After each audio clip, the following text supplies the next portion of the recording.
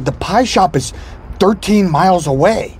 So at 55 miles an hour, that just gives us five minutes to spare. So wait, when pies are involved, you can suddenly do math in your head? Hold on, Kevin. How much is 19,154 pies divided by 61 pies? 314 pies. What if it were salads? Well, it's the carry the four and it doesn't work.